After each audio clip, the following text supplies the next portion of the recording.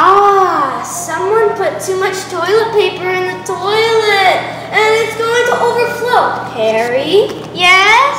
get over here. Okay. Look, someone put too much toilet paper. Oh no! In toilet land, people never overflow the toilets. That's because it's called toilet land. Here's the moral of the story, kids. Low flow toilets are what we supposed to flush, kids.